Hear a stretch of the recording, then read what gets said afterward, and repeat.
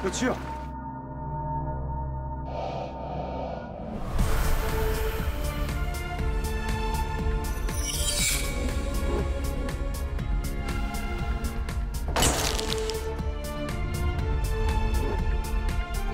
여긴 무슨 일입니까? 말했잖아.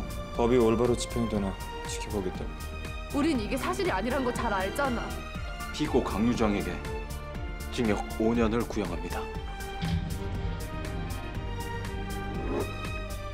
결혼이 아니라 비즈니스인데? 민혁이한테 받은 사랑 부러웠어요.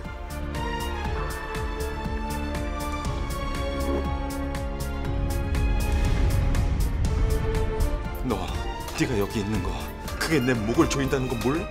너 아직도 그 사람한테 신경 쓰니? 너하고 안도훈, 니들이 숨기는 게 뭐야?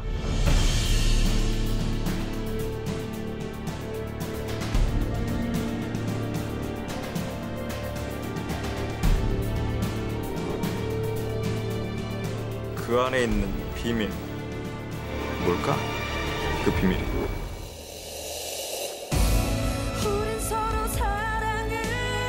네가 신경 써서 미치겠어. 그러니까 내 앞에 붙어 있으라고.